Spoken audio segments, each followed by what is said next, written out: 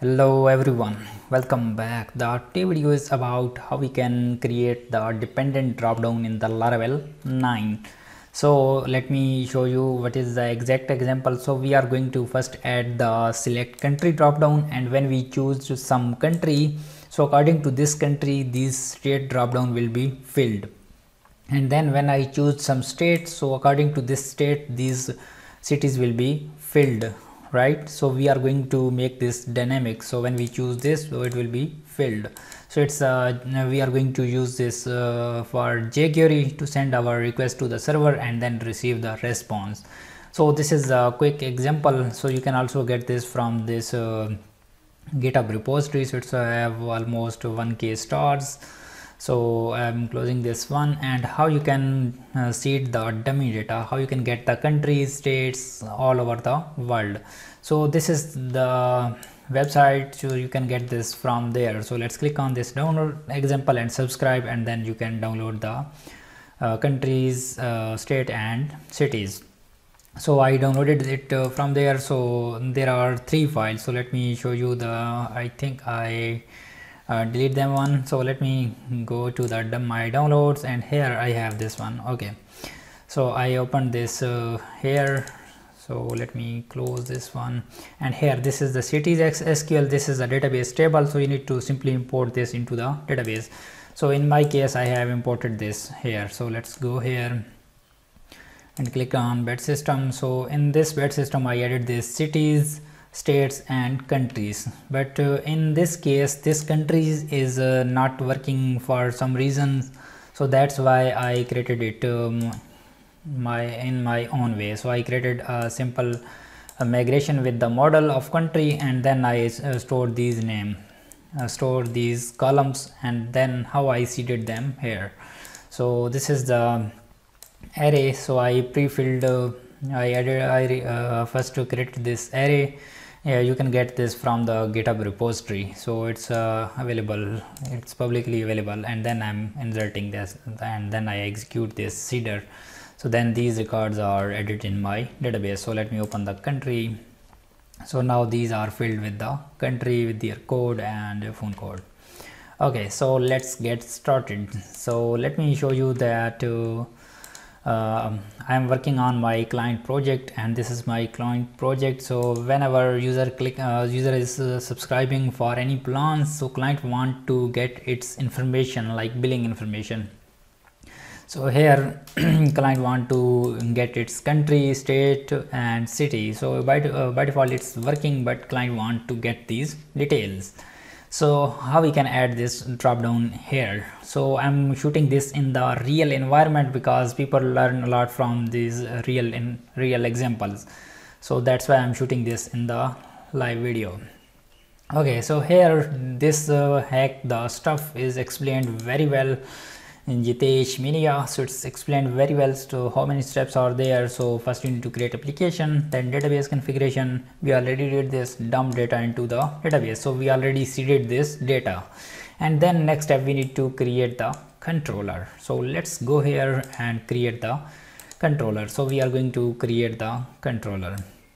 So we are going to implement this on the user side. So that's why I'm creating this in the user namespace. So let me open the controllers and this one is the user. So i'm going to create this here. So here you need to type uh, uh, in the blog it's mentioned that uh, what is the controller name? It's name there drop down controller but it's not descriptive. So i'm going to make this descriptive. So let's name this php artisan make controller and then i'm going to first to specify the user namespace and here i'm going to name this country state and uh, city controller. So i know it's uh, going long but it's more descriptive than drop down controller. So country state city controller and that's it. Okay.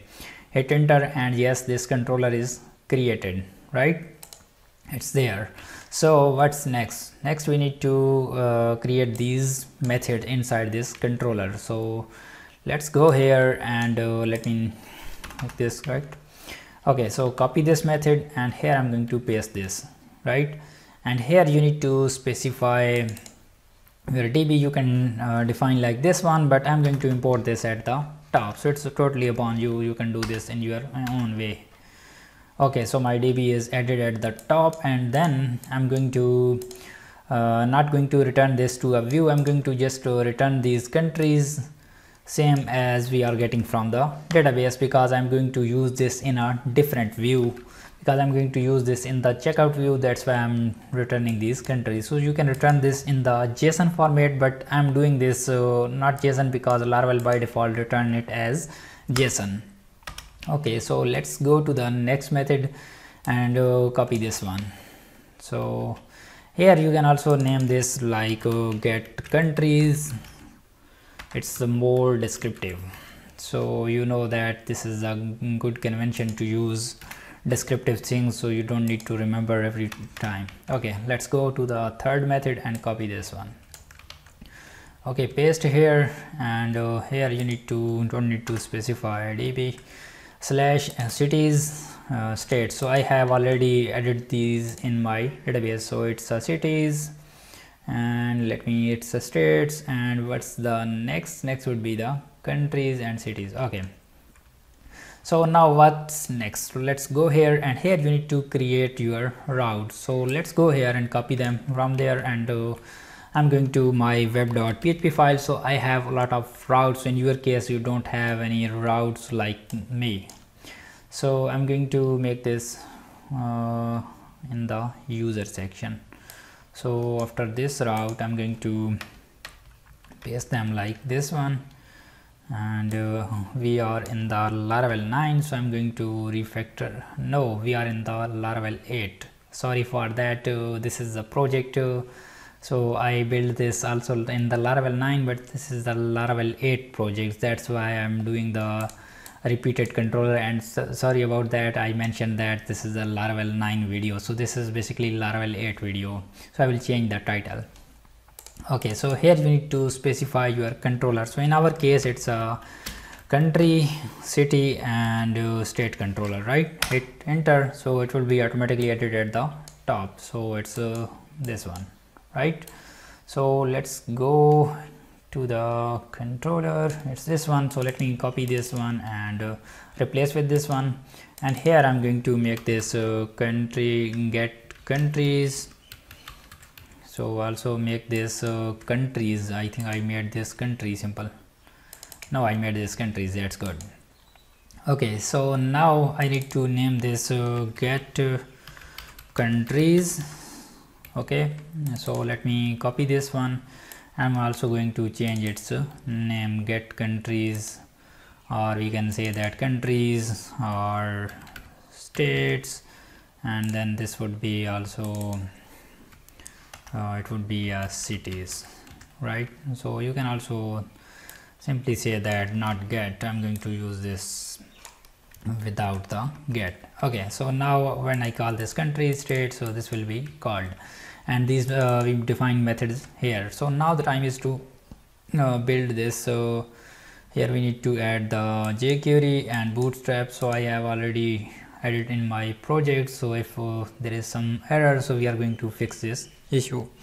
So let me copy these uh, drop down. First I need to copy the country and go to our uh, this checkout blade and here I'm going to let me show you that this checkout blade. So I'm going to add this uh, after this billing detail. So this is billing detail so I'm adding this here. Okay so after this I need to add two more drop down. So this one is uh, for state and this one is for city and these are loaded from the jQuery. So we'll uh, add the add this uh, JavaScript code. So let's copy this same and uh, go to the bottom and here we have a JavaScript. So I'm going to create a new script tag and here I'm going to add this JavaScript to paste it and then and yes we added this. So let me also make this a little bit uh, align.